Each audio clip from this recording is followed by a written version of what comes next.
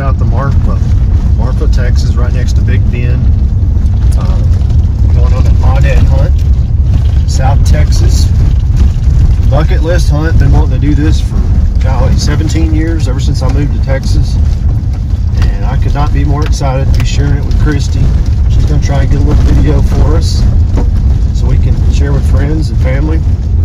But look at the look at the scenery, man. It looks awesome.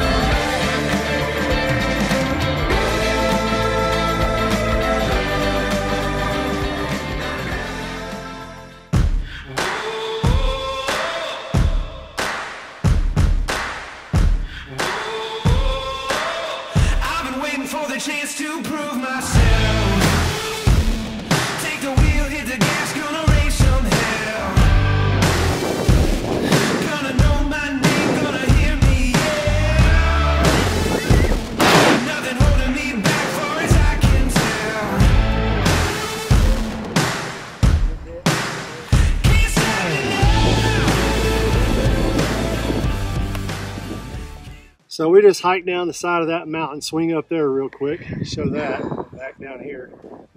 We shot that all dead all the way down here, and uh, I did. My buddy Travis here and Stuart with uh, Heart of Texas Outfitting uh, put us on a big trophy. Said he was going to put a big one in front of me, and he did. And uh, made a good shot right through the shoulders. He dropped.